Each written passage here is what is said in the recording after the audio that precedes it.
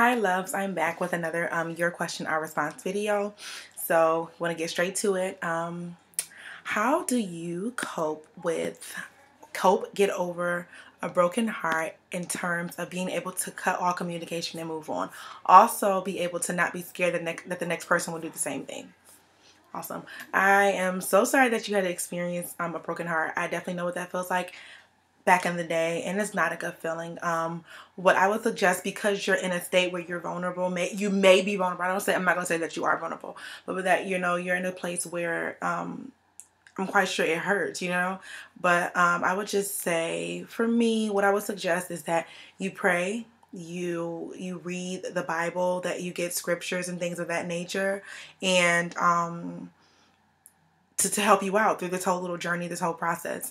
Um, you don't want to become bitter. So the best thing is you need to become better through this situation. You need to find strength and strength in Christ so that you can move on, so that you can become a better person, and to know that the next person will not do the same. Simply because not no one person, no two people are the same whatsoever their genetic makeup, the way that they act, their personality is not the same. You may have some some similarities, but no two people are the same. So with that being said, I don't want you going in with a whole mindset that the next person is going to do the same thing. That's is not good to have. It's not a good mindset to have.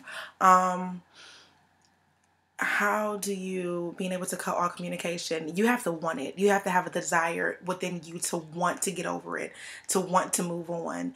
Um, you have to just kind of like talk like really be like lord like when i want something i'm like lord and i know it's something that god is putting on me lord please uh, allow me help me lord to get through this. Lord give me the strength please lord. And i'm just i'm just there at my knees just praying earnestly just i'm there. And you need to do that. Lord please take this person out of my life. Lord make allow me to make steps lord where i'm like really going towards what i need to do. Like i'm really making steps towards what is best for me. Um the next person um, is not going to it's not to be the same. It's just not unless you stay in a position where you're bitter and you don't want to move on then that's how you will attract the same person. They will see those things that you've gone through. They'll see your weaknesses. They'll see your insecurities. So in this time you want to take this this you want to take this time to become better. You want to take this time to become um, just like i said better. So yeah um getting I'm not gonna say getting over a broken heart is not easy, but if you really want it, you're gonna definitely take steps towards that. So it can be easy for you, it could be hard for the next person, but I just say you have to really want it in your heart. Um, I have a couple scriptures that will definitely help you. That's um, Psalm 34, 18. The Lord is near to the brokenhearted and saves the crushed, saves the crushed in spirit um, Psalms 147 3. He heals the brokenhearted and binds up their wounds. So, those are um, a lot, um, basically, the scriptures that I have. Just meditate on those and ask God, Lord, I don't want to stay in this place. I don't want to be in this position. And really just make an effort to move on. Ask Him for strength during this time. So that's what I would say. Just take this time to really just get to know who you are, who get to know who Christ Christ is um, in your life, and just put Him like at the head of your life.